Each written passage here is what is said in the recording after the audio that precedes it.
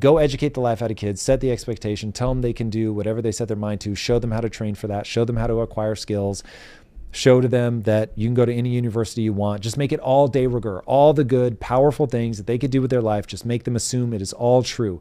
You can do it. Even if people hate you and they want to stop you, you can actually get so good at something that people can't stop you, even though they want to. If you took an entire generation and you just embedded that in their psyches, that tears down all the other bullshit. What's up, ladies and gentlemen, boys and girls around the world? I would like to welcome you back to the Real Talk with Zuby podcast.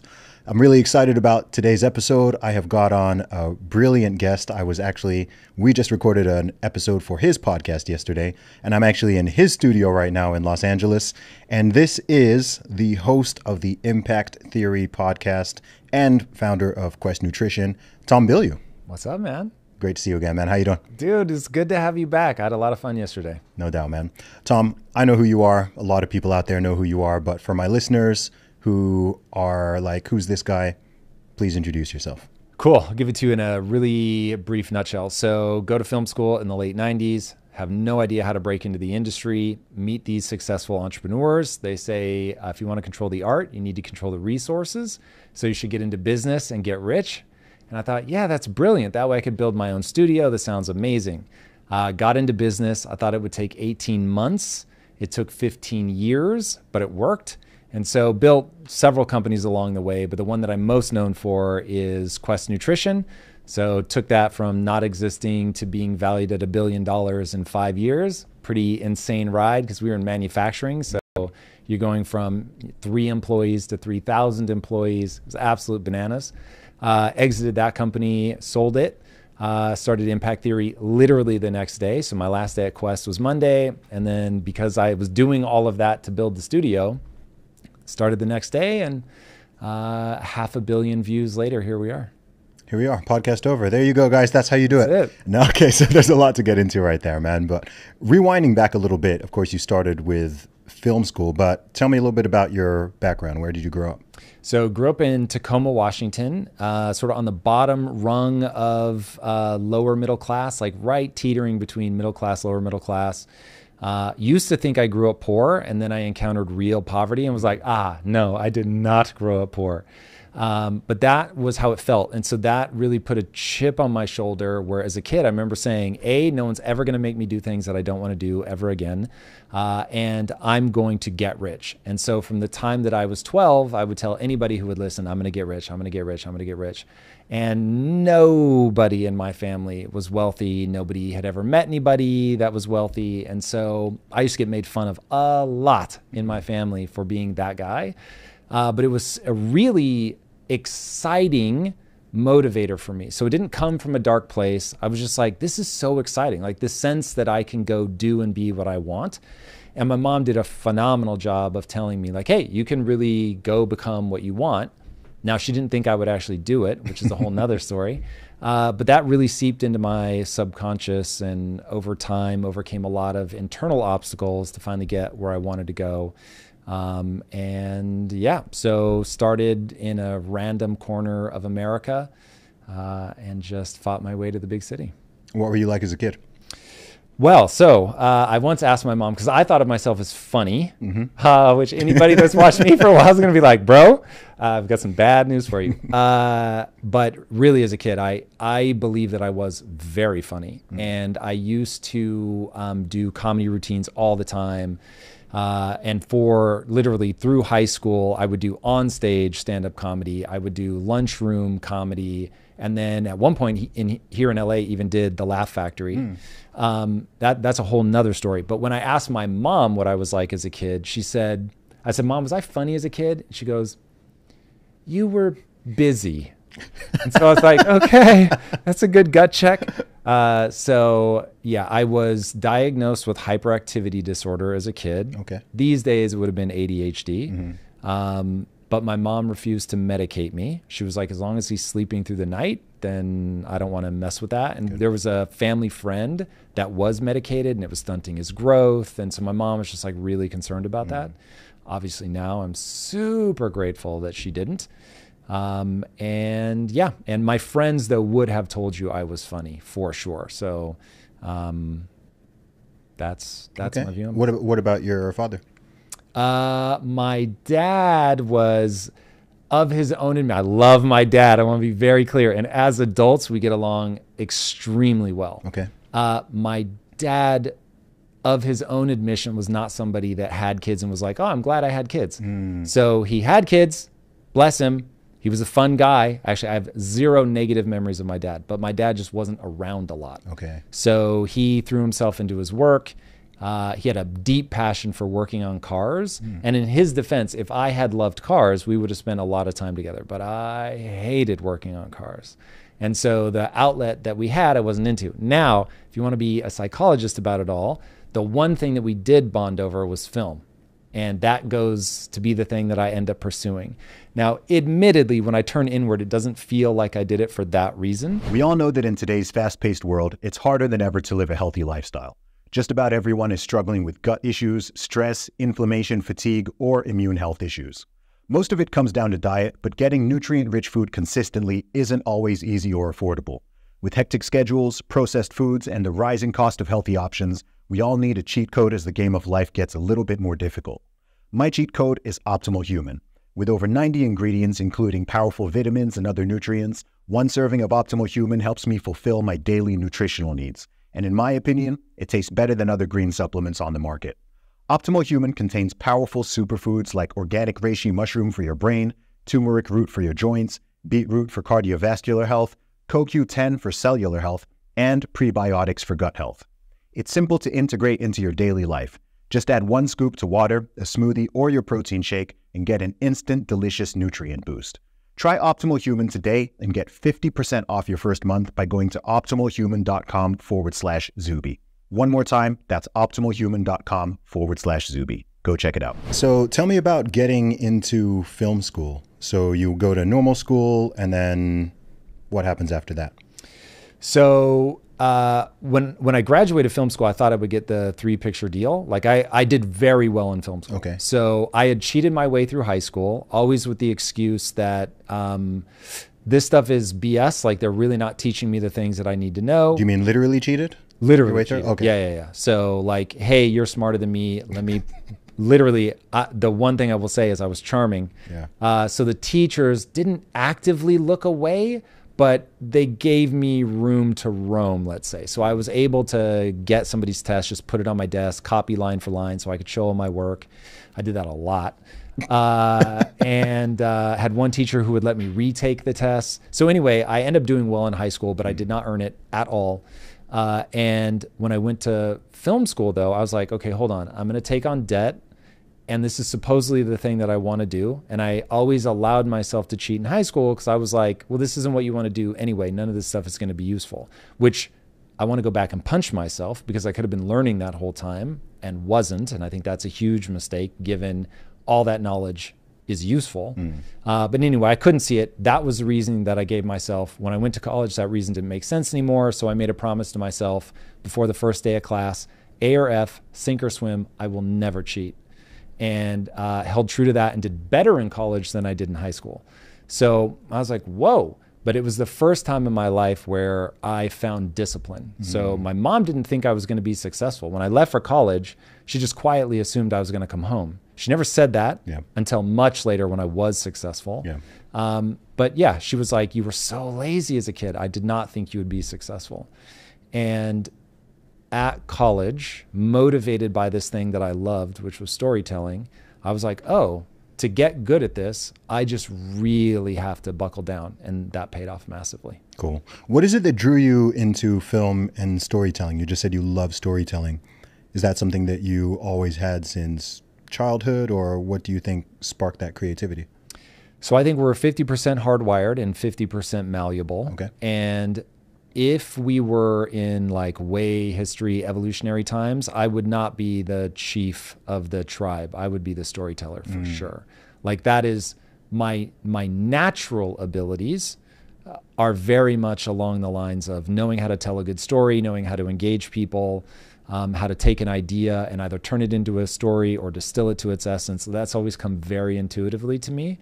Uh, and I've always said the everybody has a thing where they will get disproportionate return on their time. Mm-hmm. If I put time into verbal things, I, I get better way faster than the normal person. So let's say if I put time and energy into math, I'll get better, but it's like at 0.8.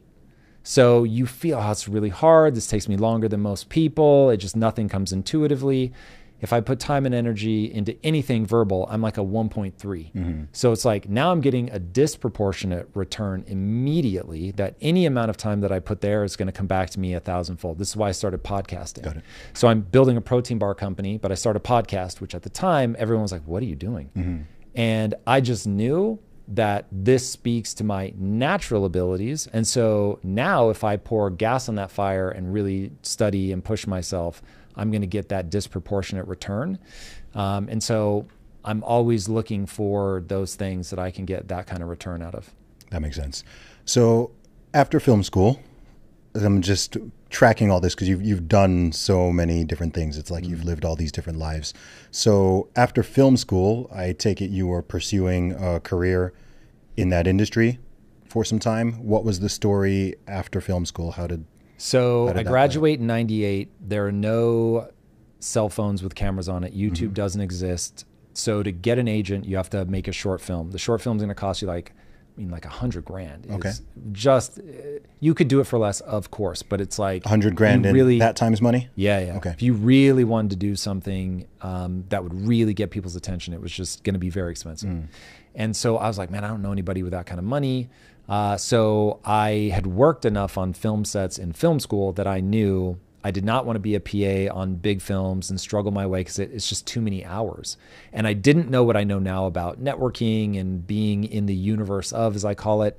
So I actually made what I think now is a mistake if I knew what I knew now and could go back in time, I would do it very differently. But the decision I made was I don't want to be a PA. I want a job that gives me time to write. And I'm going to follow in M. Night Shyamalan's path, write the great American screenplay, have something so good that it can't be denied, and get a studio to say, oh, even though you've never directed anything before, this script is so good that we're going to let you direct it. Mm. Total delusion. But like that was the animating thing. And so I was always looking for these remedial jobs where I could get time to write these screenplays. And so immediately after college, my life is a nightmare. And I'm um, selling video games retail. Uh, I once had a job for about 18 hours driving lingerie models from private ex, ex, uh, exposition to private exhibition. And That's not bad. uh, well, so my mom, uh, thankfully, literally, she calls me and uh, it's the middle of the day and she wakes me up and she's like, What are you doing sleeping in the middle of the day? I'm like, I have a new job. Mm. What's your new job? Driving. What are you driving? Models. What kind of models? Lingerie models. They're prostitutes. So she freaked out. She was like, There's no way you have to immediately call and quit this job. And so, being a good son, I called up and I'm like, all right, guys, sorry, I can't do this. So, I never actually did it, but going through the training and stuff was hilarious. So were were they actually lingerie models, or was that um, they're a euphemism? sure. Okay, fair enough. A hundred percent. But I was like, hey, I get to sit in the car and wait, and I get to write. And, you know, they're technically models, so I'm fine. That's so funny. Tell me about um, founding Quest Nutrition. I'm sure this is a story you've told many, many times. But Yeah. how did you? That's a totally different world from filmmaking. So what was that segue there? Yeah. So uh, it's a very big story that I'll give you in a nutshell. But if Okay. you want to press on anything, Okay. know that there's plenty of depth anywhere you want to go. Sure. Uh, so I meet these guys, successful entrepreneurs. They're starting a software company, and they're like, "Hey, we think you're bright. We'd love to hire you as a copywriter." And I was like, "Word!" But they gave me a pitch. Don't think of yourself as a copywriter. You want to think of yourself as a partner in the company. And if you can create in us the fear of loss, where we would rather actually give you a piece of the company than lose you, mm-hmm. then you can really become a partner in the company. Okay. And so I heard them give that pitch like 50 people, and nobody did anything with it. And I was like, this is my shot. Like, if I can make money off this business, uh, because I already believe in this idea of get into business, get rich. And I was like, whoa, this is the opportunity. And so I told my wife, look, I just need 18 months. I'm going to walk away from teaching film, which is how I was making money at the time. I'm going to walk away from that. What year is this? Uh, this would have been 2002 or 2003. Okay. and uh, I'm going to go and be a copywriter. And she's like, okay, yeah, let's give it a shot. And so 18 months comes and goes. We're nowhere closer. I just need 18 more months. Another 18 months comes and goes. Fast forward six to six and a half years in, and I've made so many rules about what my wife can and can't ask me about. Uh, don't ask me about how things are going at work. I don't want to talk about it. Don't ask me about the other people that work there. It just all is stressful and triggering. Like I just, when I come home, I need space. Yeah. And so she tried to be good about it and give me that space. And finally, she pulled me aside and said, You're now damaging our marriage.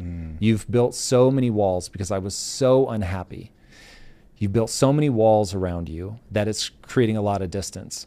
And so I was like, look, I just want to feel alive again. And, but I've promised you, and I've promised your dad, because her dad didn't want us to get married. Okay. I mean, he told me straight up, I asked for his blessing. He said no. Wow. Yeah, it was pretty hardcore. Okay. And uh, he was just like, I I don't want to. I'll want to get more into this. yeah, yeah. So anyway, great man, amazing man. Learned a lot from him, but he was not shy about saying, "You're not where you need to be to take care of my daughter." So anyway, I've got this huge chip on my shoulder about I promised him I was going to make you a rich woman. I promised you I was going to make you a rich woman. I've made you clip coupons now for six plus years, uh, all the while saying I just need 18 months, 18 months, 18 months. And so we agreed that I would go in and quit, and that it was better to pursue something that made me feel alive, which was the phrase I kept using, even if it wasn't making us money. Mm-hmm. So we had found a small town in Greece. My wife is Greek. Found a small town in Greece where we could live very cheaply, and I was going to go write the screenplay. And so even though I wasn't going to make a lot of money, and she wouldn't make a lot of money, we'd be able to get by. And then we would get that killer screenplay and come back. Okay. Uh, again, delusional, and I'm glad that this is not how the story ends. Yeah. But armed with that very clear vision of I want to feel alive again, I'm damaging my marriage. I realize now showing up every day just to get rich just isn't motivation enough. Because, b- by the way, by that point, I'm worth $2 million on paper. Okay. So they did end up making me an owner. Uh, the company was growing, it was worth about $22 million at the time that I go in and quit. And um, I completely catch them off guard. And I was like, here's your equity back. I'm not going to cross the finish line, so I don't want anything for this. Okay. Uh, you guys go do it. Thank you for giving me a shot. This was incredible, but I need to feel alive. Yes. And so I'm driving home, talking to my wife. I did it. The hard part, because I really like it, ends up being this really powerful moment. But in the moment that it was happening, I felt like I was really letting them down. Mm-hmm. And so, because we'd really become close. And I was just like, I did it. I did the hard thing. And now I, f- I already feel better. Like, let's, you know, pack up and move. Like, let's go write this screenplay. And they call me. I'm pulling into the driveway at my house. And they call me. And I'm on the phone with my wife. And I'm like, hold on a sec. They're calling me. Click over. And they're like, just come to dinner with us. So I'm like, hey, babe, instead of coming in the house, I'm going to go to dinner. I go to dinner with them and they're like, look, you just totally caught us off guard. We actually feel the same way that you do. We haven't been happy for a long time either. So, what would it look like? What would need to be true for the three of us to keep working together? And so we brainstormed ideas. We'd have to sell this current company because none of us care about the product. Uh, would need to be something that we would feel passionate about. And uh, I started, I didn't have the words that we have for it now, but this is in today's language. What I was saying was, I need to feel authentic. I kept saying, I need to be myself. I need to be who I really am. I don't want to be a slick marketer. I just want to be me. And so, and I was like, and I want to tell stories. And there's this thing that we now call social media, which we did not at the time. But I'm like, there's this thing. Tim Kelly has this idea of a thousand true fans. And I laid out this whole thing about how we could do our own content. It wasn't called content back then, but like, look, I'm a filmmaker. Like, let me do this. Let's build a studio inside of what became a protein bar company. But let's create all of our own content. Let's really have the brand stand for something. This is all before like that was the thing. And this is part of why Quest blew up is we did all the things that became the standard playbook, but we were doing it three years before anybody mm. else. And so, influencer marketing, creating our own content, standing for something, letting people know what our values are, like all this stuff that we were doing just so that the three of us could keep working together. Because what I'd realized, my, my business partners used to ask this question. And the first time I heard it, I thought, yeah, that's the right question to ask. And it, it was if you knew you couldn't fail, what would you do? Yep. And over six years, I realized this is the dumbest question ever because failure is the most likely outcome. So I was like, okay, if failure is the most likely outcome, if you're trying to do something big, if you're trying to do something big and failure is the most likely outcome, what's a better question to ask yourself? And the question that I started asking myself was, okay, what would I do and love every day, even if I were failing? Mm. Pursue that thing. And suddenly it becomes about people that you know and love. Okay, I can build a thing for, in the case of Quest, for my mom and my sister. I can build a food company because they're both morbidly obese. Okay. I can build something for them so that they have food that they can choose based on taste. Mm. And I've done all the hard work to make sure that it's actually good for them. But I'm just thinking about them. Yep. So, literally, on a Friday night, this is a true story. On a Friday night, I am under a piece of wrapping equipment with blood on my knuckles, trying to repair the heat coupling device to get the machine to seal correctly. And all my friends are at clubs and out partying. I thought I'm here for my mom and my sister, and I'll what, show. What, what machine is that? What? So you, the way that we did it, it's going to be different in different companies, okay. but we had a fin sealer. Okay. So you've got this to wrap the bars. Yeah. So okay. you, you, they go through a wrapper that starts flat, and the machine like pulls it down to right around the bar, and then there's a fin beneath it that like actually is heated, mm-hmm. and it like squishes it together, and it's made of a material that when it heats, it seals. Got it you've opened a gazillion packages sealed with one of these things in your life, but there's cold sealing and there's hot sealing. So if you've ever had like glue, that's a cold seal. If you have to tear it, mm-hmm. that's a hot seal. So anyway, we had a hot seal. We later switched okay. to glue, but at the time we had hot seal. How, how did you decide on protein bars? Okay, so you've got three people okay. and you're, what do we do next? And you're trying to triangulate on, okay, what I know is these two guys are extraordinary mm. and I want to keep working with them. And that means I'm going to have to make concessions. I'm not going to jump right to filmmaking. So, what is it that the three of us share in common? And the three of us were obsessed with health and nutrition. Mm. And the three of us had an angle that we would do for the company. And it ended up being um, product, process, and people. Mm-hmm. And so one of my partners was product. He was literally obsessed with the science of nutrition. Mm-hmm. Another one was process. He grew up on an Iowa farm and ended up m- making a huge breakthrough for us in manufacturing that just was so clutch. And then I was people. So storytelling, sales, marketing, uh, team building, that kind of stuff. And so when we looked at, okay, if we were to do that, then we could make use of each of our skill sets and because I have such a personal connection to this through my mom and my sister, like I'm here for that. I've got an emotional tie. I'll be ready to go. And so in the beginning, it wasn't self evident, but that one, and this is where I always tell people being a good person is not enough. You have to have business acumen. Mm-hmm. So by that point, they had been in business for more than a decade. I'd been in business by the time we started Quest for seven plus years. So you start to get what it takes to grow a business. So we understood look, sure, Tom, your mom and your sister are great. I always used to tell people we we're here for three very different reasons. Like they're not here fighting for my mom and my sister. Yeah. That's a me thing. But I knew that my mom and my sister were representative of hundreds of millions of people. Mm. So it was like if we could actually solve a problem for them, there's probably a big business here. And for any budding entrepreneurs out there, man, if you've got a consumable product idea that solves a real problem, get into that business mm. because now you've got that recurring revenue, people coming back. It's it's really magical. Wow. What was the first product that you guys put out there? The first two, so they came out at the same time, okay. were our vanilla almond crunch bar okay. and our peanut butter bar. The reason I ask is because, you know, I remember I've been in the I've been going to the gym for over 20 years. So I got into bodybuilding and then powerlifting and stuff when I was in my teens. And I was in the UK at the time in boarding school in the UK. And I remember, I want to say in my early 20s, if not late teens, I remember hearing about quest bars on bodybuilding forums. Mm-hmm. In the UK, they weren't they weren't really sold in the UK, definitely not in most of the supermarkets. So I remember, you know, you're chatting on these forums and all these like bodybuilder bros in the US are like talking about Quest Quest bars, Quest nutrition bars, and whatever.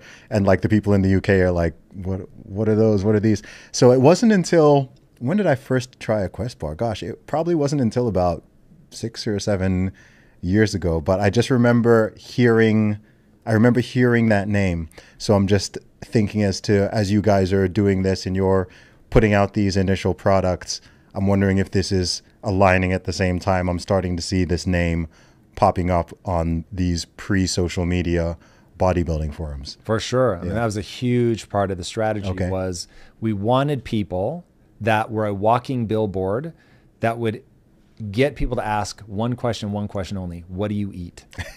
and so we went out everywhere that they were bodybuilding competitions. I mean, now we'd call them fitness influencers, but it really didn't exist back then. Mean, it this is like 2009 when we really started getting serious. We officially launched in 2010. Um, but all the lingo that we have now was, you know, not around back then. And so we went out to these guys that were just in killer shape and we're like, all right, we want to give you the product.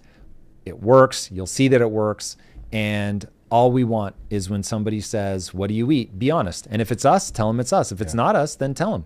And that was our whole shtick: was if you think our bars are garbage, tell people you think our bars are garbage. Mm-hmm. And so people are like, "Whoa!" Like they're not holding. Like if we signed somebody to rep the brand, we never said you have to talk about us this many times or anything like that. At least not in the early days. I'm sure later we started getting more serious.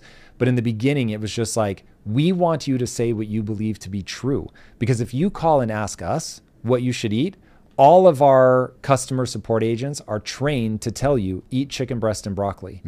And only when you're like, "Ah, I can't eat another chicken breast and broccoli, then it's like, okay, have a Quest bar. Yeah. So we try to be really honest that you want to eat whole food whenever humanly possible, but we get it. There are times where you want something tasty or more convenient. And so that's where a Quest enters the picture. What was the moment when you knew you had like? When did you know we've got something truly special here? It was about eight months in. Okay.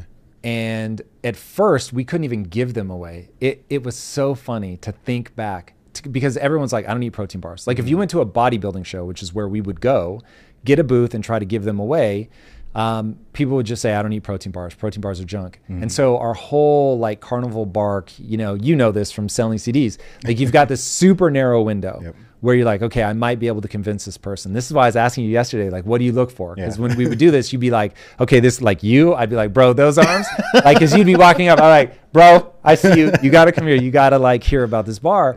And it's the first bar that tastes like it has sugar but doesn't. And so we tell people eat it and check your blood sugar. And so like that became like the mantra was just getting people to understand we understood nutrition and we had found a way around the curse of the protein bar, which was that most protein bars to make it palatable just cram like 30, 40 grams of sugar. It was insane. Yep. And so we're like, yeah, we didn't do that. We found another way around this problem, which was to become our own manufacturer, which is its own thing. Um, and that that like really started popping us off. That's awesome, man. I think a lot of people who are into fitness and nutrition now or are getting it into into it now, they don't realize how much things have changed even just in the last 20 years. So I think now when it comes to I don't know protein bars or ready to drink protein shakes or whatever it might be, even just the internet world of fitness and the gym culture, it's shifted a lot. So now when people think of protein bars, they might think, "Oh gosh, there's so many available out there and you know lots of them taste good and have decent macros and so on." But not so long ago, that was not the case. They were pretty nasty. they were pretty nasty, and the ones that did taste okay, as you said, they were just they were just like Snickers bars, but with 20 grams of protein, if not probably less, probably worse than Snickers bars in certain ways. They'd all like mess up your gut. Mm-hmm. They'd like be like it was it was really really different. So it's it's strange because when you say 20 2009 2010 perhaps to my younger my youngest listeners that will sound like a long time ago but to people who are let's say 30 plus it doesn't seem doesn't seem that long ago So- it doesn't seem like the world has changed that much but this is just sort of the there was that golden era of like YouTube YouTube fitness and mm-hmm. YouTube bodybuilding. And then again, this is before Instagram. Now, when people think of fitness on the internet, they pro- their brains probably go to Instagram before they go to YouTube, and it's just changed and grown from the, the training to the nutrition to like so many more girls lift weights now. Like when mm. I was lifting, when I was training 18, 20 years ago, I mean, I don't think, I can't even, I went to boarding school and a lot of the guys would lift weights because we were all like rugby players and stuff, but I can't even recall if any of the girls lifted weights. Hmm. I think like it was just the guys lifted weights. And in lots of gyms around the world, you go to the weight room, you might have like one or two hardcore bodybuilding ladies in there, but it was pretty much just totally male dominated. Now you go to a gym and it's not you know, it's not just you know the guys lift the weights and the girls are on the treadmill. Now it's just like you know pretty close to maybe maybe 60 40, but you've got way more way more women lifting weights now and it's just it's changed in a lot of ways. Massively. Yeah. Um, so, gosh, where do I want to go from now? So you scale the company over the course of time from three people to 3,000 people. I don't want to go into all the intricacies of scaling that, but what were some of the key steps or milestones along the way there? So the big one was just getting the bar to produce at scale. So we started in a kitchen that we rented by the hour and we made them by hand with rolling pins. Oh, wow. And a couple like weird things that we made that would cut more than one bar at a time. Just the three of you? Uh, we would you always get help. So we there'd be like the three of us plus wives plus every now and then uh, a couple other people. But it was you know what you could fit in a room about this size. Okay. Uh, so it was pretty small. We'd make a few hundred bars a night, maybe a thousand. I forget now the exact number, but it was not a lot. And uh, we'd run the software company by day and do the protein bars nights and weekends. And um, yeah, it was really, really small time. And so we knew if we were going to scale, we were going to have to find equipment. And we went around all over the place looking for a line. And people were like, You're never going to be able to make this bar. You don't understand. There's actually a pretty fascinating lesson in there Why were they saying that?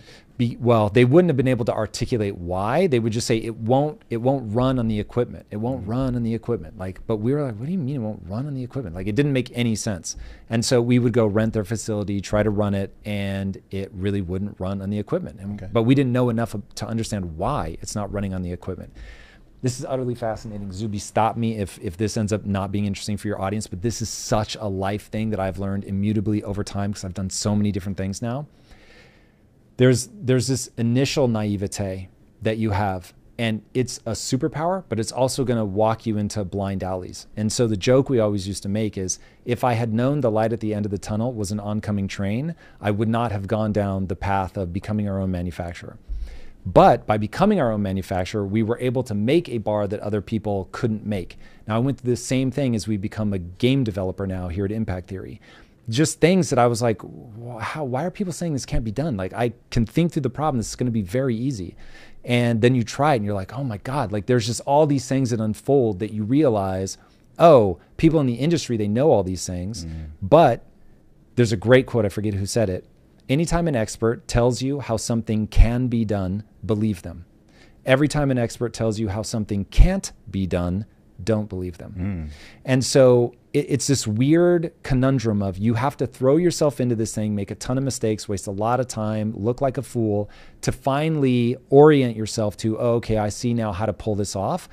But hopefully, you will have leapt in with a, a vision so audacious that as you fight your way through that, like, oh my God, now I understand, oh God, like this problem spiraling out of control. But you don't give up and you push all the way through. And by doing that, you actually create something that nobody else was able to create. But you literally had to be fooled in the beginning. If if I had known how hard game development was going to be, I certainly wouldn't have done what we did. I would have still gotten into games, but not the way that we did. Hmm. So we end up creating something that nobody else has built because nobody else was dumb enough. Now, back at Quest, it was the same thing. We became our own manufacturer because we didn't understand how hard it was going to be. And so we just saw a problem and we're like, wait, we, we see how to solve this problem, only to then have just an unimaginable number of other problems unfold before you. And this is where entrepreneurs quit. This, this is like, I teach entrepreneurship, and this is the one idea I always try to get across. And we're going to find out how highbrow your audience is because I'm going to say the truth, even though people hate it when I say it this way, but I say it this way because it's fucking true. you are up against the second law of thermodynamics, which simply states everything in the universe moves towards chaos. Nothing, when left alone, will assemble itself into an Alfa Romeo or a Ferrari, right? Never going to happen. Mm-hmm. The metal's not going to refine itself. The engine's not going to build itself. It just, that's not the way things work. Unless it's a closed system into which you can pour energy. Okay, that's the second law of thermodynamics. Now, That's a very accurate and fancy way of saying the world really is working against you. It's working against you because, and here's why what we learned in manufacturing for the last 70 years, because the US government, now you get me all conspiracy here, but the US government decided to subsidize corn so that you can make high fructose corn syrup. Now, because it's being subsidized, it becomes like prevalent everywhere. And so now, if you're a machine manufacturer and you know everybody's going to put this stuff in, you engineer your mass produce equipment to expect high fructose corn syrup because that's what everybody's mm. using. And so now, without even thinking about it, you're like, this is the kind of material we can expect to run through this type of machine because it's always going to have high fructose corn syrup. So the second we took the sugar out, we're removing high fructose corn syrup. And so even though we put a liquid fiber in there, its properties are just different enough that it literally breaks the equipment. Wow. And so now you're like, oh my God, I now understand because we were asking ourselves over and over, how has nobody made this bar? This is so obvious. And the answer is, I bet everybody tried. But when they got to the point where, oh, we either have to add high fructose corn syrup mm-hmm. to make our product, which is why you have 20 grams of sugar or yeah. 20 grams of protein inside of a Snickers bar, or I have to build my own equipment. They all said, I'm going to add the sugar. Mm-hmm. We were literally the only ones that were like, nah, we'll build the equipment. Okay. Now, when people understand that, that that defines my whole life, that I make that decision over and over and over and over. And you you need a little naivete going into it because becoming your own manufacturer is an insane undertaking. But when you've already started down that path and you've designed all the packaging and you're making it and you're selling it, and only mm. then do you find out, oh, actually, this is going to be insanely difficult. It's tough. But if you have that mentality of like, uh, I can get so good at a thing that people can't stop me. Mm-hmm. And that's really what I want people to take away. So when I encountered that same idea in video games, I was like, okay, I know this drill now. And I just have to get so good at game design that I'll I'll be able to build a thing that other people won't have the tenacity, quite frankly, to build because the second law of thermodynamics will win against them mm. because they're not willing to pour the amount of energy into the system that they need to. Now, I don't know how many people in your audience have a physique, but dear Zuby's audience that has a physique. You mean an impressive physique or just yeah. assuming everyone has one? I'm hoping everyone a, has a body. A good physique. Okay. a physique that they can compete in physique competitions physique. Oh, okay. A small percentage. Yes, very small. Under under a percent. So those guys will understand immediately what I'm talking about. So one of the most important things that you can do to convince yourself that everything that I just said in the last seven minutes is true is to transform your body. Mm-hmm. It will teach you everything from it's extremely hard to the world is working against you, both in intentional ways and unintentional ways. From if you're in the US, uh, even granting that the government has your best interests at heart, they're making such stupid decisions uh, that your food is just inundated with things that will move you backwards. Um, to if you stop working out because you get sick, now your physique is going to slowly begin to erode, that you're storing amino acids in your muscles. And if you get sick, your body's going to go strip those amino acids. And so you're going to have to build them back up, both mm-hmm. in diet and exercise. And so it's just like doing it's hard. Yep. But if you transform your body, you suddenly go, oh, this works. I just have to be hyper focused, extremely consistent, and willing to suffer. Man, you've said so many interesting things there. I mean, from the technical part to the more philosophical part. Firstly, on a technical level, I mean, it, that's really fascinating about the high fructose corn syrup that the machines quite literally don't function without it. That's mind blowing to me. Yup. I wouldn't have even thought that that would have been the technical issue. But I think what you've just said there about that moment of tenacity and breaking through is so powerful. I say often that in most things, I believe that in most things, most people give up far too early. And a lot of success, regardless of the scale of it, but a lot of success is just going, just outlasting other people, doing what most people just won't. As human beings, we naturally crave comfort. We all do to varying degrees. There's, you know, we want to be comfortable. We like to be comfortable. But as a result, as soon as there is resistance and as, as there is resistance, and as that resistance increases, more and more people fall away. More and more people drop off. It doesn't matter what it is. It's not hard to, like, okay, we're talking about working out or working out or dieting. It's not that hard to convince. Maybe you could convince 50 to 70% of the population to go to the gym once. There's a percent that you try as you might, you can't even get them to come on, like just just go one time, and they mm. still won't do it. Right? Cool. Okay, that that percentage is already gone. You can get most people to go to a session to try it once.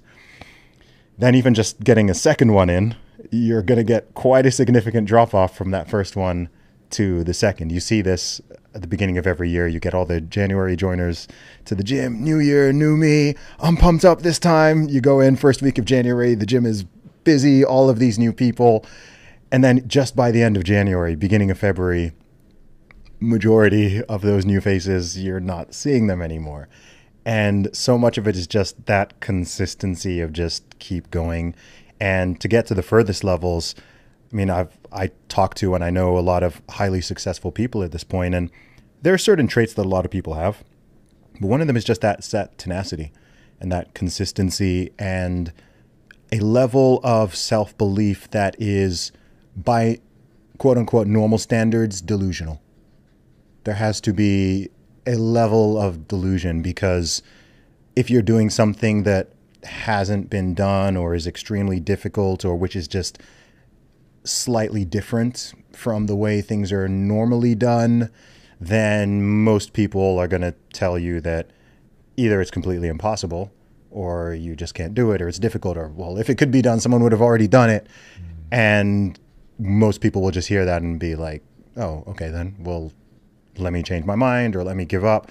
And it takes someone who is pure delusion won't get you there because you need to have the ability to actually execute and you need to have the talent and the idea needs to be good enough that people care about it um, but yeah where do you think I don't know if you'll be able to answer this because you've only ever been yourself and you might not know where all these things come from, but where where do you think that level of let's call it delusional self-belief where do you think that stems from? Well, this is where you and I will disagree, perhaps depending on how you look at it, but for me, it, evolution has one aim for you, which is to get you to have kids that survive long enough to have kids. It has two levers that it can pull pleasure and pain. And through pleasure and pain, it is trying to get you to do certain behaviors. And if you knew how difficult it was going to be to fend off the outside world and all the things that would try to kill you and all that, uh, then you probably wouldn't embark upon it. Mm. But if, on the other hand, it gives you this sense of optimism and a sense of I can do it, that at least you'll a certain type of person, because to your point, most people stop way too early. But there is a rare set of people that whatever that dial is, is is dialed up maybe bizarrely high. And those are the people that go on and do great things. Mm. Because if you think of it just really oversimplistically and say, okay, no matter what you try to achieve, you will achieve less than you're attempting to achieve. And so now you're maximally incentivized to try the craziest thing because at least then you're thinking in a way of like, oh, this is going to make me do big things. So anybody paying attention knows you use Elon Musk now as the example, and you just say, okay, this guy's trying to make us a multi-planetary species. So that means that I've got to build all these rockets and they've got to be this size and I've got to get these government contracts. And first I have to start with satellites. I've got to generate revenue and all this stuff. And he, so he's got this big, massive plan. But if you were just trying to, say, develop the satellites and you weren't trying to make us a multi-planetary species, then all of a sudden you don't need to build as big of a rocket. And so you may have still solved the same rocket problem that he solved, but you don't solve it at the scale that he solves it to because he has a much bigger idea of what he can and wants to accomplish. And so all of us are going to fall short. And so just trying to, from an evolutionary standpoint, evolution having a, a and look, I believe in the blind watchmaker. I don't think this is intentional, but if you have that dial and some people just get it cranked way up, then modern society brought to you by that small subset of people that have that dial that's just cranked abnormally high uh, on on I'll call self belief rather than delusion. Sure. And then when combined with persistence, they just all of a sudden it's like, oh, I've got this crazy dream. It's so big. Everybody else is going to quit, but not me. And then they just keep going. And most of them, honestly, still fail despite having that. But the few that make it through give you the just unbelievable modern world that we see before us. That's fascinating. I've just had a thought of you as you that said that. Because you used the term self belief, you replaced the term delusion with self belief. And I've just thought of what delusion really is. And delusion is the, I've never articulated this, so I'm going to try. Delusion is the gap between your self belief or a person's self belief and their competence slash ability to do the thing, ability to execute. It's that gap. I'll add one element to that. Okay. As perceived by somebody else. Mm-hmm. And so it's possible because I've never thought of myself as delusional, though Yeah. I have been because there are things that I've failed to achieve. So I clearly was delusional. But there are things that I did achieve that mm-hmm. other people did not think I could. And so during the period where I'm unproven, I look delusional. And you look so- it, but you're not. So I- you, you, I you look delusional to an outsider, analysis. but Yeah. in reality, you're not because that gap is not a gap. You can, you have got the capability and the capacity and the will to make it happen. So yeah, to an outsider, it looks delusional, but you know within yourself, no, actually, that is something that you believe, but you're often wrong. That's mm. why I think, and look, for the sake of a podcast, it probably doesn't matter, but Yeah. just by way of personal interest, it's fascinating to me. I never think I'm delusional, mm-hmm. though I am at times. Yes. In in the final analysis, proven to be wrong. Okay, so if if I don't think I'm delusional, am I delusional or does it require somebody else to look at me and go, this isn't possible? That's delusion. And the reason I think this matters is everybody needs to understand about themselves. You are both the shout and the echo. So you're the thing that you do, mm-hmm. and you will assimilate what comes back to you, especially now in the age of social media. But this has always been true. so you're going to do a thing, and people or attempt a thing, and people are going to tell you you're delusional. Now, the people that can fight through that, even when they, if they're being honest, they don't know if they'll be able to pull it off. Like I'm trying to build the next Disney. Okay. Now, just speaking statistically, the odds are essentially 100% that I fail. So I have to set aside that this could be delusion because I know I will only be limited by what I attempt. And so if I accept that uh, it, no one can do that, so don't even try, scale that back, I'm going to fall short of whatever that is. So I'm willing to say, even though the echo that I get back is that this is delusion, mm-hmm. that I'm going to keep pushing through that. But if I get taken, if I get caught off guard because I do not understand the nature that delusion is simply the gap between what I have already proven I can do and what I can do mm-hmm. as seen by somebody else, then it becomes, it feels like it's, they're presenting me actuality. And what I'm saying is, in the moment before you do it, nobody knows if it's delusion or if it's just you're part way to being finished. Yes. And to confound it even more, when we started Quest, we were not capable of scaling Quest. We had to become capable of scaling Quest to scale it. Yes. But we actually weren't. I'm not, as of today, capable of building the next Disney. So I have to become capable of building the next Disney as I go. So anybody that looks at me, like my mom looked at me, like my father in law looked at me, like my best friend looked at me, all three thought I was going to fail in life with love in their hearts. Yes. But all three thought I would fail. They ended up being wrong, but they weren't wrong in the moment. And this is what I always try to get people to understand is when they said, you're not going to be able to pull this off, what they meant was, because of their own worldview, given the skills that you have today, mm-hmm. you're not capable of doing the thing you say you're going to do. What they didn't account for is that I have obscene ambition. It wasn't your final form. Correct. I wasn't in my final form. Yeah. And so as I used my discipline to garner skills that would match my ambition, then I could pull it off. Yes. And so if you're ready for that dissonance of, ooh, the world's going to tell me I'm an idiot, I'm a fool, that I'm never going to be able to achieve this, and you know that's just how people work, that's the echo, go be the shout, worry about the echo later. Yeah. Tell me about building the next Disney. Okay, so uh, it's so interesting because ideology has a really bad name, and when I watch companies like Disney become ideological, I'm I get the heebie-jeebies.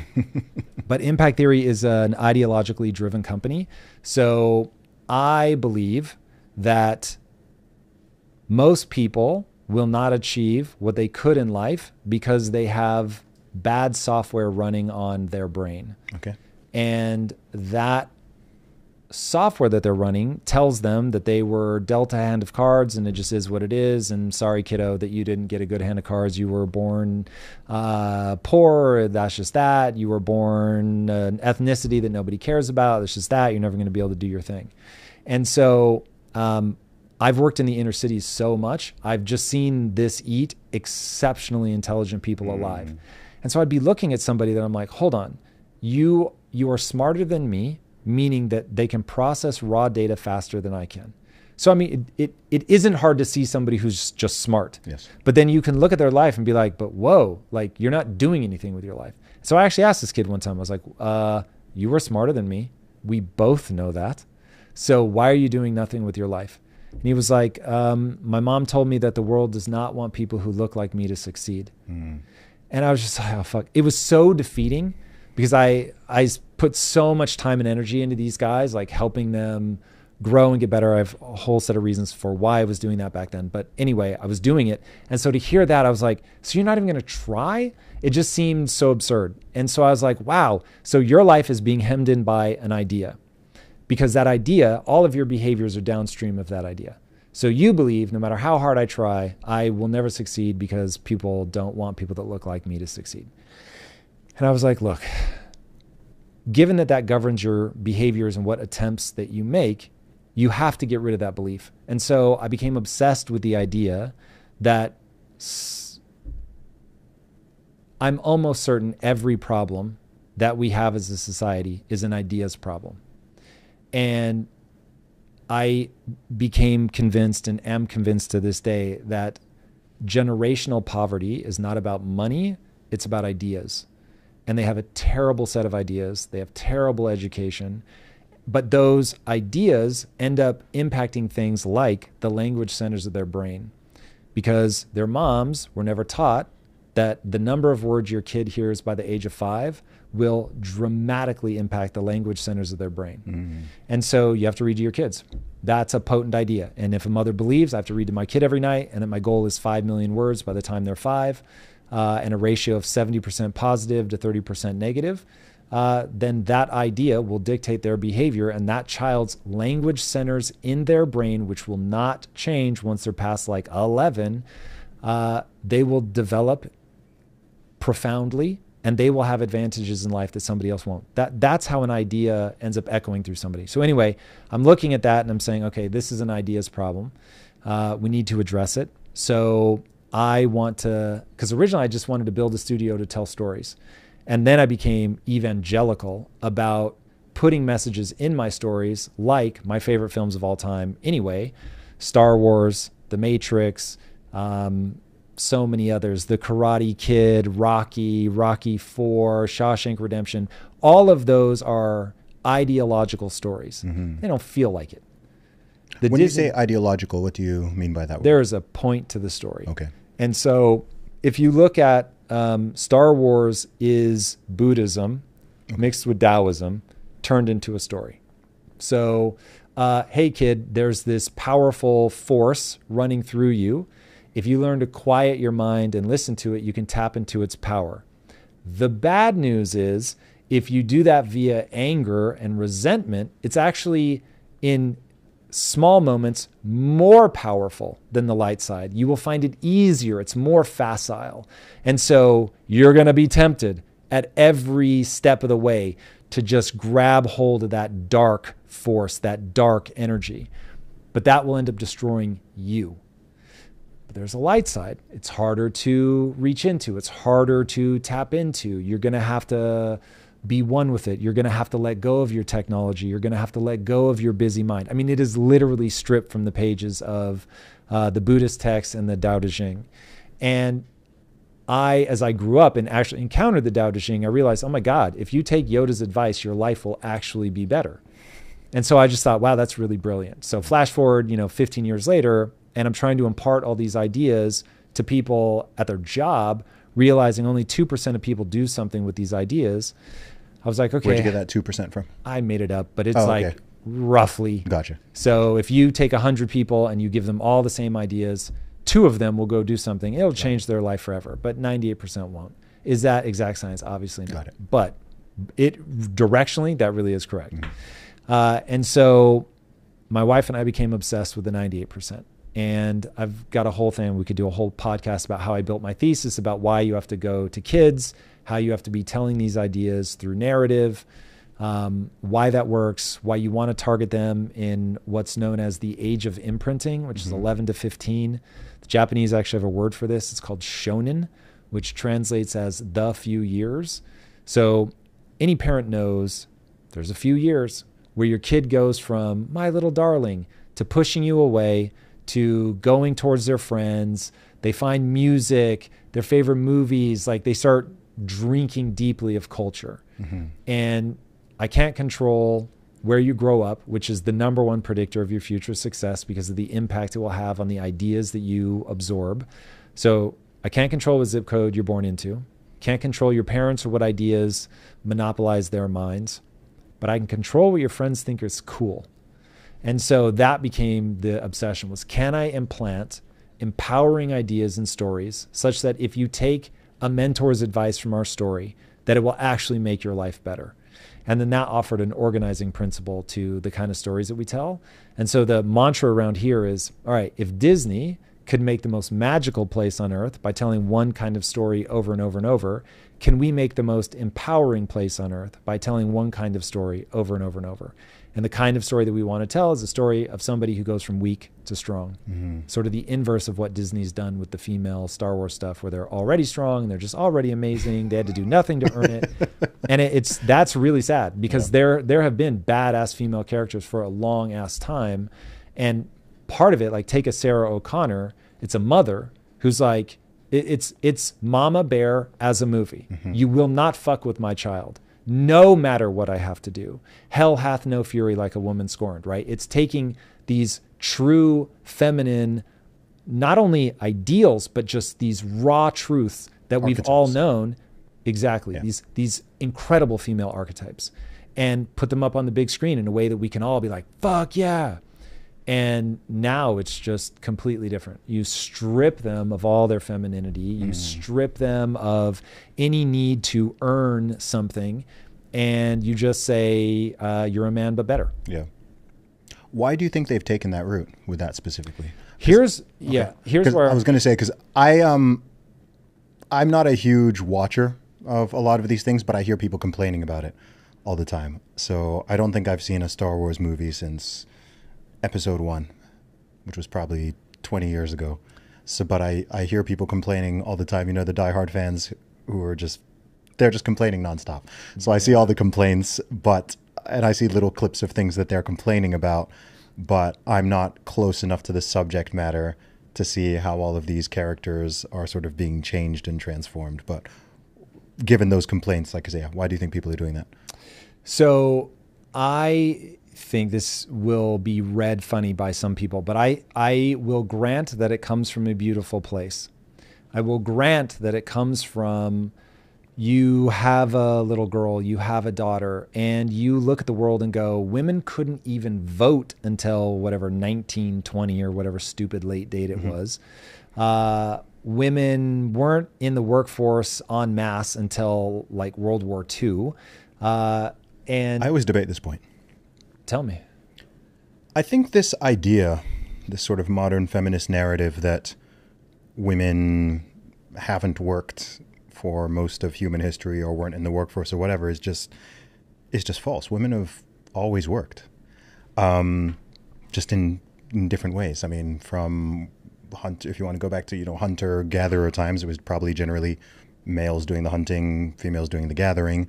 And then in agricultural times, like women have always worked. They maybe worked in the house. They didn't go to an, they didn't get in their car and go to an office, but they've always worked. And then in terms of obviously child rearing, I mean, this this idea that mothers don't a stay at home mother does not work is goofy. I think it's silly that we just think of work as a job like employment that pays money, whereas that's not necessarily what work or labor means. There's a lot of work that's extraordinarily important. Someone could argue that the most important work that exists in the world is not directly compensated in terms of money, whether it's a man doing it or it's a woman doing it. Like the most obvious example of this, obviously, is parenthood.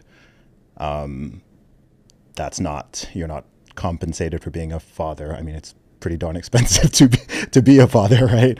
Um, or for being a mother. But I think there's that there's this idea that it was just like I don't know, women were just kind of hanging around, not doing much, and men are just out there doing everything. And I just don't think it's a true narrative, um, and I, I think it betrays. I think it betrays the contributions of women, in fact, because they were not doing the exact same work as men. Um, it's viewed as if, oh, okay, only the type of labor and the type of things that men are doing, like we're only going to put a value on that, and we're going to try to shove millions, billions of women in that same direction by those same comparison points. Whereas I don't think that's that doesn't that's not the reality of the complementary nature that we've had for however many thousands of years of our existence. You and I agree violently. Okay.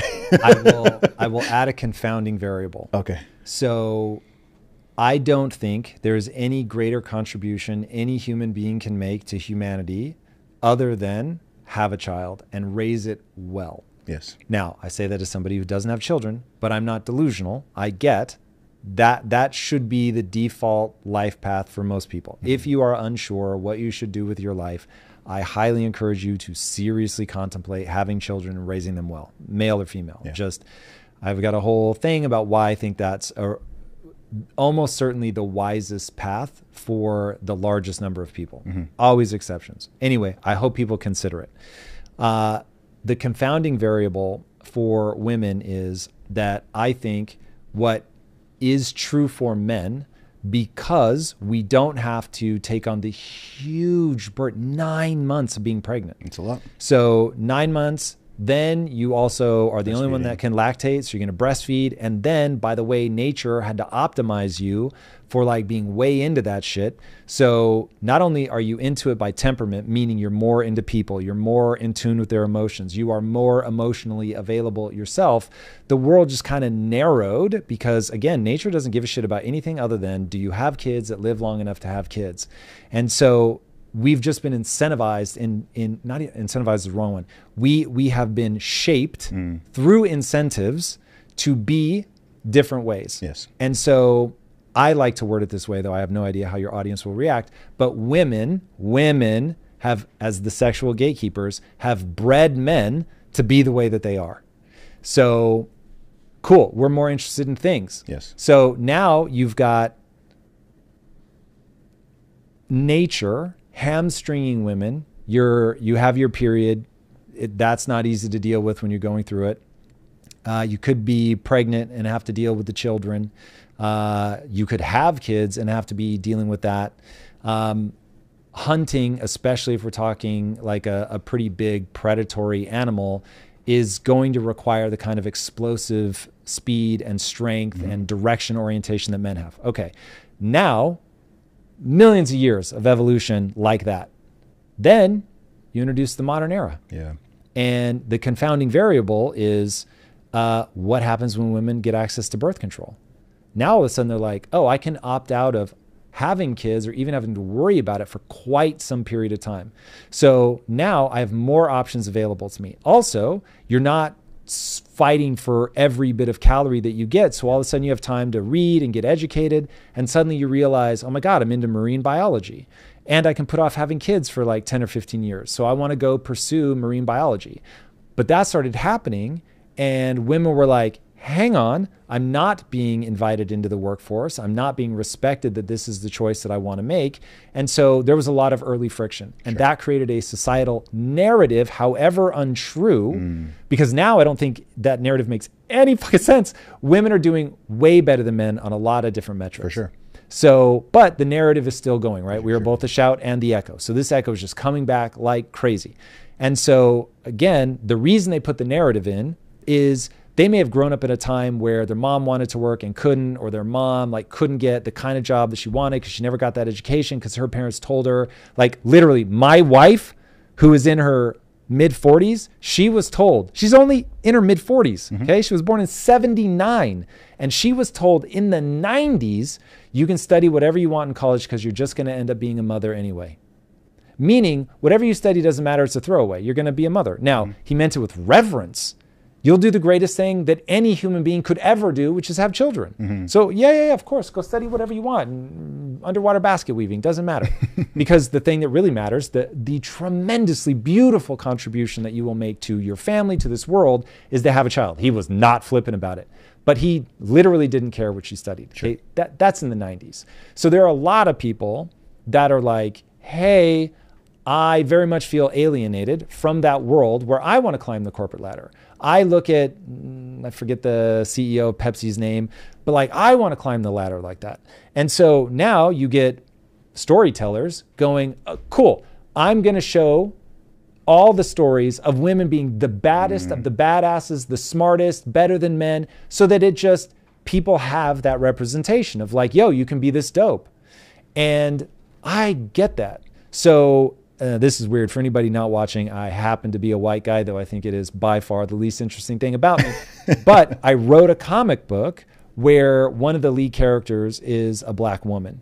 And I had this woman bring her young black daughter up to me at a comic convention, and the mom burst into tears and was like, I had to thank you uh, because my daughter pointed at her on the comic book and said, She looks like me. And we don't see enough of that in comics. And dude, as a white guy, already knowing the culture war shit, I was still like, fuck, that hits me in the heart. Like, I was so stoked that that was the reaction. So, like, I'll just accept Yeah. that everybody's got great intentions. But what they have forgotten is you have to tell a good story 1st And I forget who said it, but like, oh God. Um, He's one of your countrymen. Oh, he was almost. As in England? Yeah, yeah, yeah. Okay. He was almost um, 007. Oh, God, he's like the suavest dude on planet Earth. Black guy? Yes. Idris but- Elba. Idris Elba, thank you. Okay, uh, so he said, uh, I'm not a black actor, I'm just an actor. Yeah. Right? So they have to just be characters. They can't be female characters. Strong it's like. Yeah. Strong independent female. like it's just it's a character. They're going to be flawed and they're going to have foibles. In fact, this is why J.K. Rowling is the greatest living author as far as I can tell. Okay. If somebody can point to somebody better, I'm here for it. But oh my God, you need only read in book five of the Harry Potter series, the the sequence around Harry's first kiss covers everything about coming to age. It it is the most jaw-droppingly well-written sequence I've ever read. It is unbelievable. It hmm. makes me feel so badly about myself because I cannot write that good. it it is unbelievable.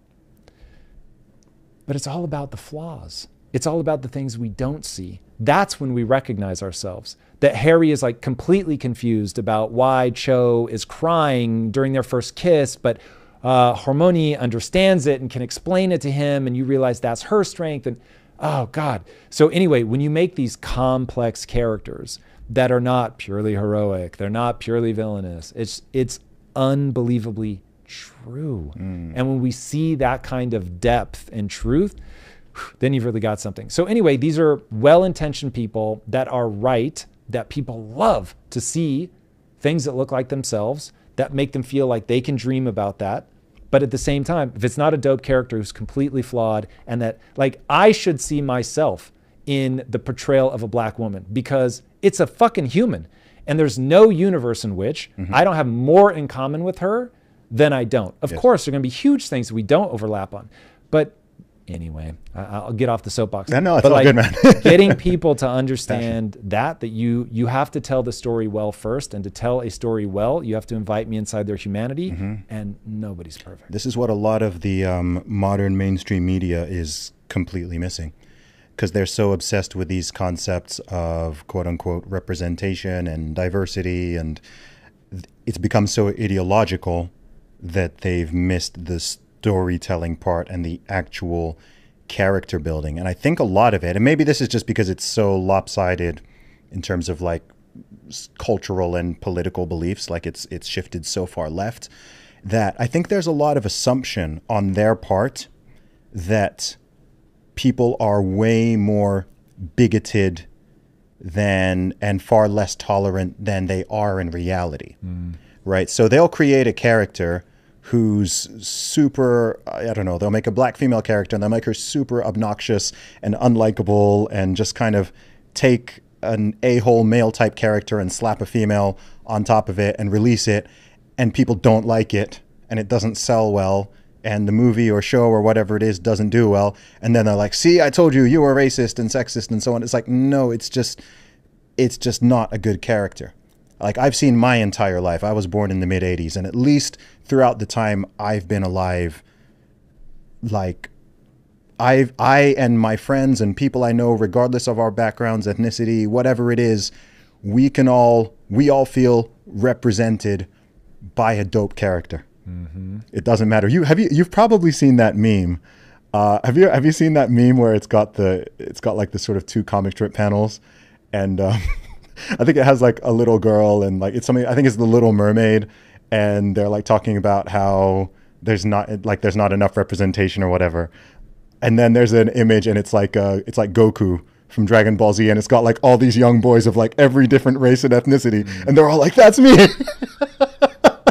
And I was like that's literally it. Yeah. like it doesn't it doesn't matter. Like if you maybe this is something where um maybe there is a bit of a gender difference here like I generally do find that men seem to like I know me personally and lots of people I know when I think of the concept of representation, it's not um oh someone who has to like look like me or share my melanin level or background or whatever. It's more like the actual character. It's the character and the beliefs and the actions and the personality that makes me feel represented.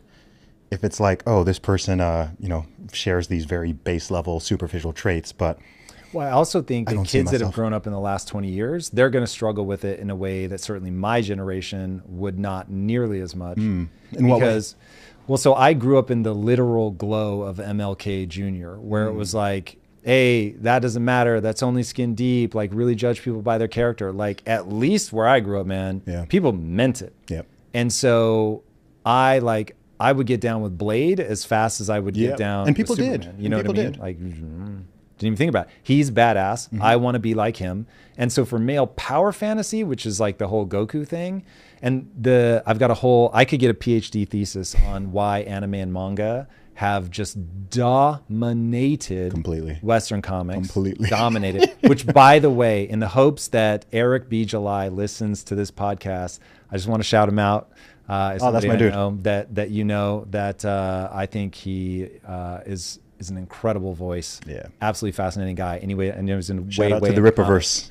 Um, but uh, it is um, very fascinating what happened with the Japanese. They really understood power fantasies for boys Mm. and were able to deliver just pitch perfect, which is why doesn't matter ethnicity. Kids are all like, "Yo, Yeah, that's um it's it's interesting, but I think there's a there's a unique opportunity now in terms of media in general, whether it's entertainment or it's news or it's podcasting or anything else where I think the big mainstream players I think they're they're heavily ideologically captured and they have put ideology over quality and storytelling.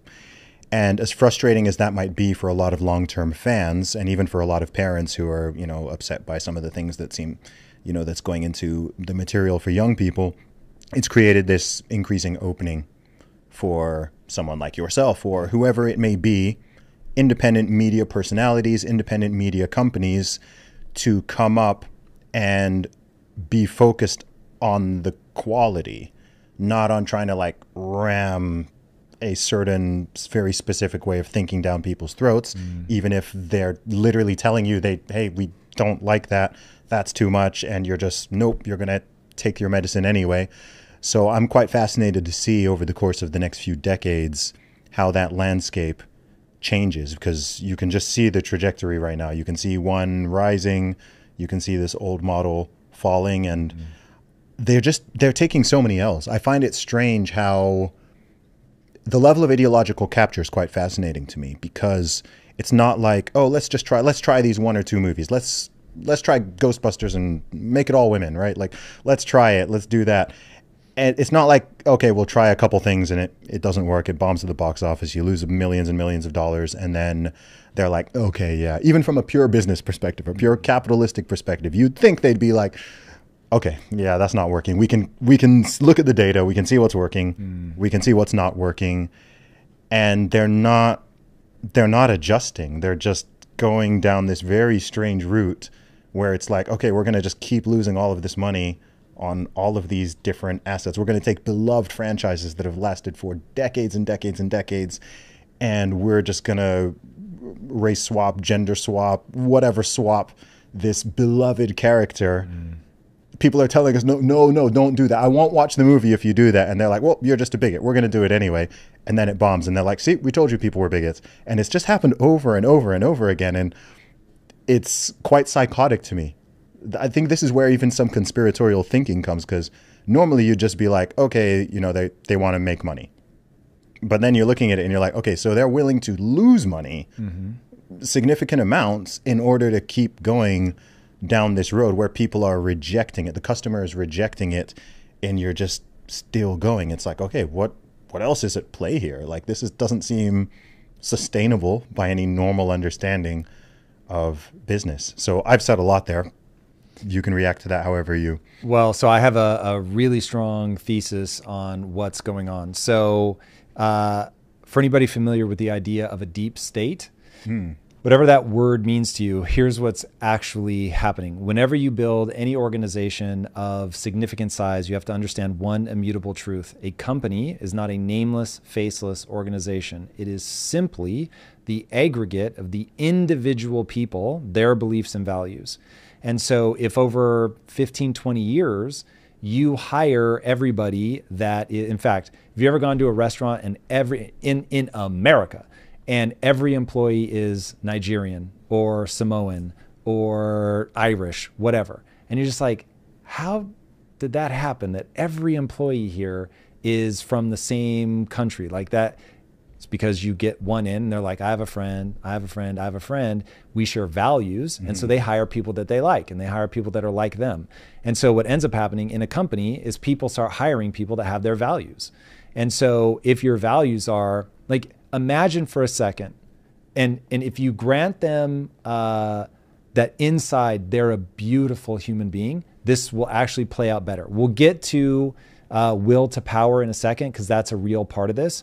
But first, just assume they're actually a really good person, and they experienced a moment like I experienced with that little girl mm-hmm. at the comic shop, uh, at the comic convention, and her mom comes up in tears, like you really made my daughter's life better. I can't thank you enough for this. This is so cool.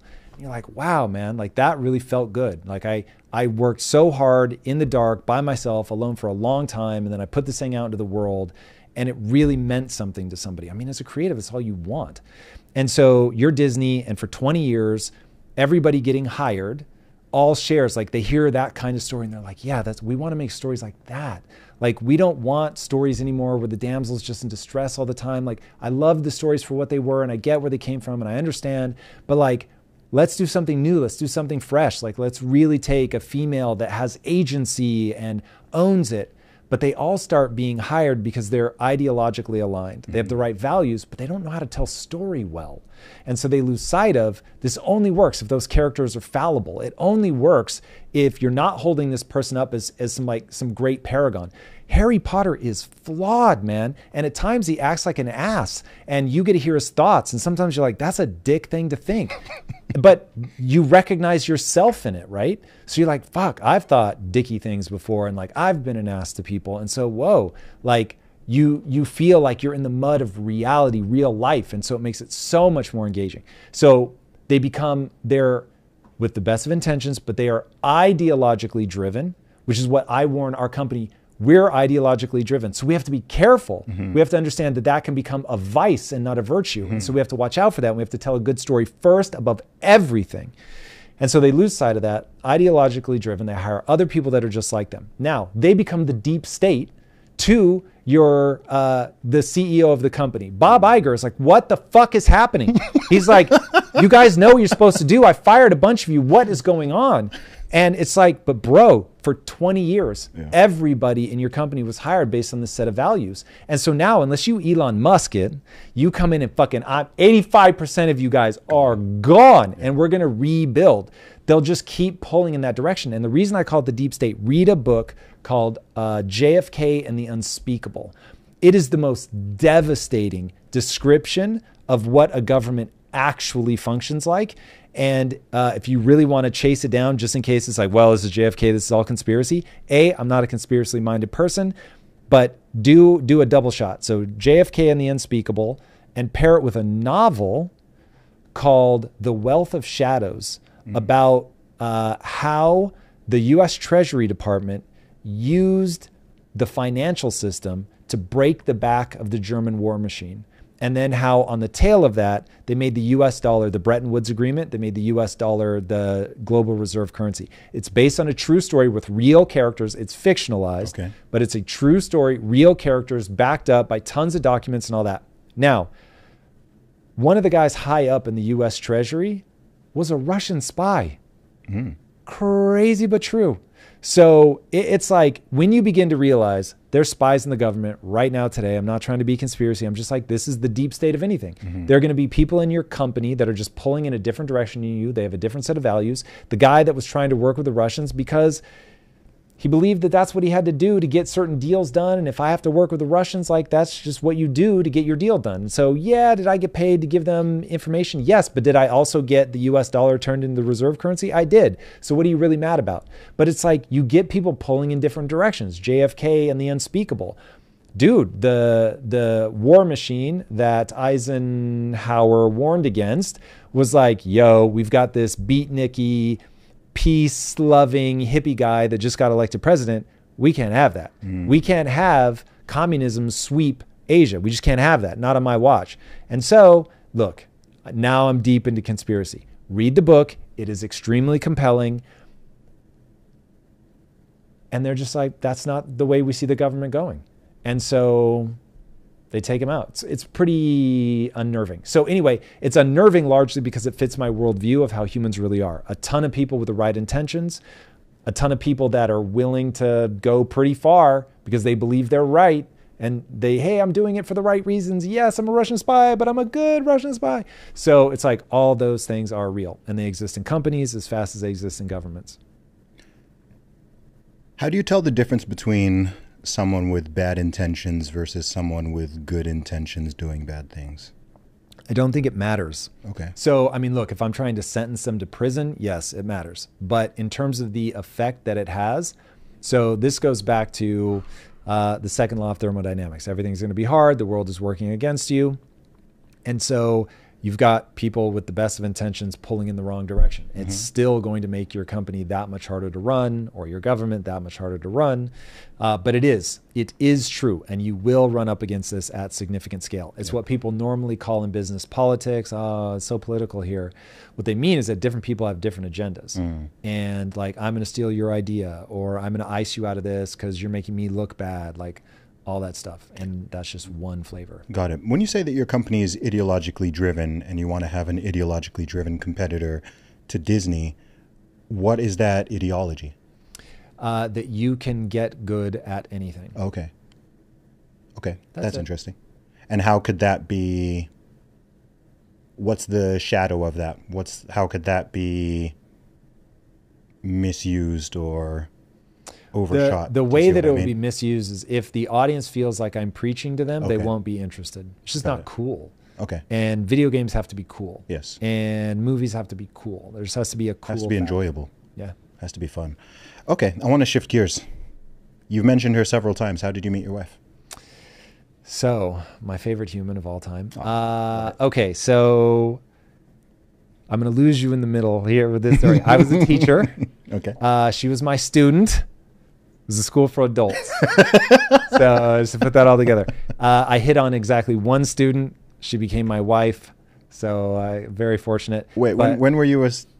This is at film after filmmaking. yeah, school, so or- I, I graduate from film school and I Okay. start teaching film. got it.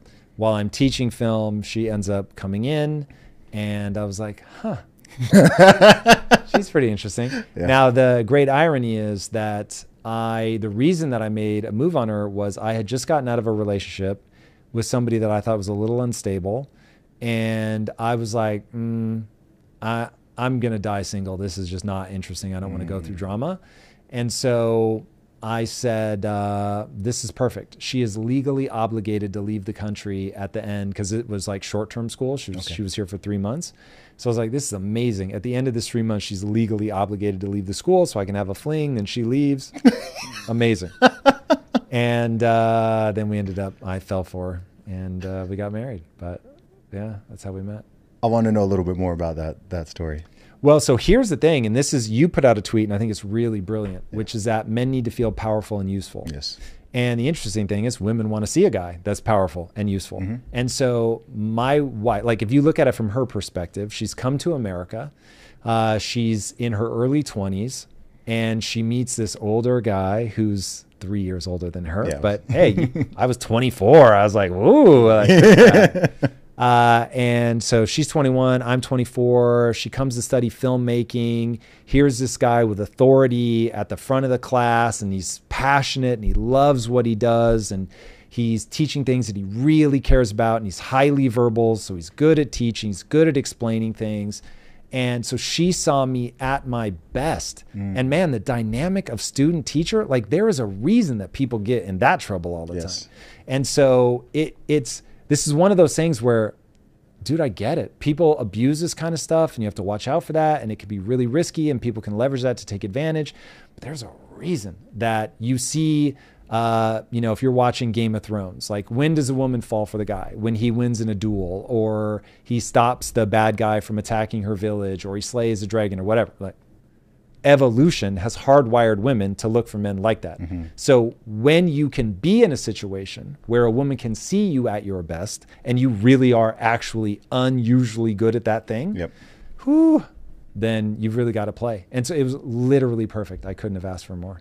That's awesome. How did you um how did you know she was the one, for lack of a better term? Yeah. Okay. So one, just we hit it off from the first date. It was absolutely insane. But the moment that I was like, oh my God, I'm going to marry her, I came home from a hard day's work and she was on her hands and knees in front of my couch, scrubbing it clean. And I'd never been taken care of like that. So I was like, oh my God, she loves me so much that she would wash my couch for me to have nice things. This is unbelievable. And then come to find out, no, she was just disgusted by how dirty it was and she couldn't bear to sit on it another moment. And so it was totally for her. But in that moment, that's how it hit me. And I was like, oh my God, I'm going to marry this woman. And it was so funny then later telling her that story and she burst out laughing because she was like, that was just about you having a filthy couch. Um, but yeah, that was when I knew. That's hilarious. Um, so you guys have been together how long now? 20 we've been together for 23 and a half years Okay. married for 22 in a couple weeks Awesome. Because I know there's a lot of people who listen to my podcast and who follow me online who are, it's mostly males, but a lot of females too, and all different ages, but a lot of people are asking these questions. There's a lot of conversations going on right now, particularly online and even on podcasts, just on podcasts, just about dating and mating and marriage and men and women and gender dynamics and all of this stuff. So, as a man who has been married for over 20 years, if you were talking to your if you were talking to your the version of yourself in your early 20s or mid 20s and you were going to give advice because you said something interesting. You said that you'd essentially written off the idea of getting married and you were just like I'm just going to be I'm going to be single forever. And I think that that thought has crossed through a lot of people's minds at some point. And I'm sure there's some people listening right now and that's crossing through their mind. But what would be the advice or any words that you would say to yourself let's say 25 years ago in that regard? Okay, so the greatest thing that life has to offer you, mm-hmm. it is not money, it's not accolades, it is a truly shared life with somebody that you love. Mm. There there isn't anything better coming for you. So even if you want to say one of the things you want to share is children, amazing, love it, here for that, totally understand why people call that the peak. Uh, but you want to be doing that in a stable dyad, I believe. Uh, so you find that partner, they are going to shape you, you are going to shape them. And there is a sense of um, this person removes a lot of the blind spots that I have that adds a layer of safety and potential to your life. And so you're going to have to get good at relationships. That is a thing. And then I could have shaved a lot of time off my life uh, by saying what your audience will already believe. But this was really sort of eye opening for me, which is that women's brains work differently. Yes. And if I, I, believe the the point of a brain is a predictive engine, and so you're constantly trying to map the world. And if when you're with somebody, you think of them as being you with long hair and boobs, you're going to be super fucking confused. And I mean that literally. You're going to be confused. Yeah. They won't make sense. And so you'd be like, why are you acting like this? This doesn't make any sense. And then once you realize, oh my God, she has an entirely different frame of reference, largely based on her biology, but she has an entirely different frame of reference. We see the same thing and walk away with very different meanings, understandings. And so once you understand that people two people can witness the same fact and not agree mm-hmm. about what that fact means. And so once I understood, oh my God, like here's a really dumb one. Uh, you just had a long day and you need to say a lot of words about it. Okay, now I get it. When I've had a long day, I don't want to say a single word about it. Yep. And if I map me onto you, then I'm going to expect that you want silence when you've had a bad day. But once I go, okay, wait a minute, theory of mind, this person needs to say more words. She needs to process out loud. She needs me to hold space for her, not solve a problem. Like she needs to really get this out into the space, get it out of her head, translate it into something that isn't emotional and intuitive so that she can sort of grapple with it. But if I interrupt that process by offering a solution, uh, it's very weird. Or here, this was the single biggest breakthrough for me. Estrogen makes bad emotions feel okay. Mm. Not it makes bad emotions feel good. It makes having a negative emotion less problemsome. For me, if I'm in a negative emotion, I will do whatever I have to do to get out of that emotion mm. as fast as humanly possible. Mm. I must solve this right now. So when my wife brings me her problem, it makes me feel bad because I love her more than anything in the world. And knowing that she's upset, I'm like, let's solve it because I'm deeply uncomfortable in that that emotion. That emotion gives me the same internal sense as having my hand on a hot stove. Mm. My every impulse is to take my hand off.